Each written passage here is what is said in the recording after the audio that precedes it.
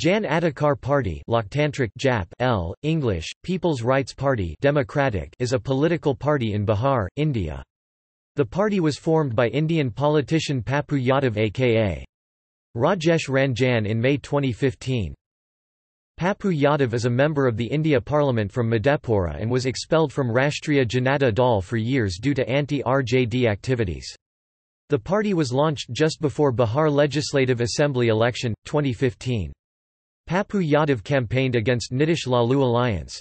Jan Adhikar Party L fought on 64 seats as part of Socialist Secular Morcha which comprises Jan Adhikar Party, Samajwadi Party, Nationalist Congress Party, National People's Party and Samras Samaj Party. The party was not able to win a single seat in Bihar Legislative Assembly election, 2015 and collated 1.04% of vote in the election.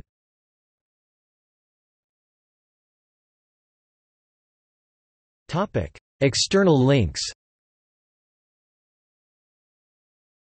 Official website of Rajesh Ranjan Pappu Yadav